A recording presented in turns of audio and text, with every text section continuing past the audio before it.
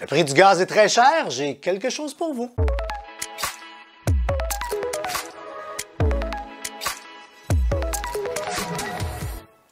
Un des classiques du web et des applications, c'est GasBuddy, quelque chose qui est tellement là dans l'air du temps qu'on oublie de l'utiliser, on oublie de le télécharger.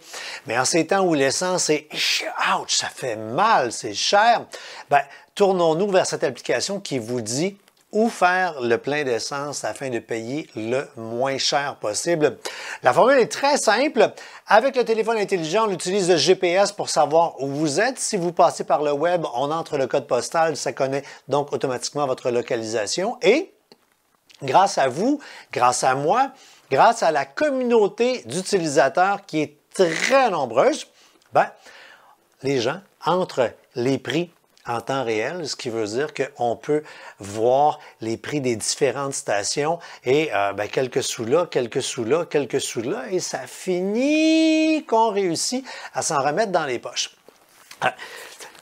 Vous allez me dire, ouais, ben, j'y connais mes stations de service autour de chez nous. Ça, ça va. Mais dès qu'on a à faire un déplacement, par exemple, on est sur la 20, on est sur la 40, on monte au Saguenay, on va voir la famille en Gaspésie. Les prix peuvent varier vraiment d'une station à l'autre. C'est un moment où c'est bon de sortir l'application. Et si on pense même s'en aller en voyage, parce que l'application donne les prix pour l'ensemble du territoire canadien et américain, vous pouvez dire, moi, là, Voici ma destination. Je pars d'ici, je m'en vais là. Ma voiture, c'est tel modèle.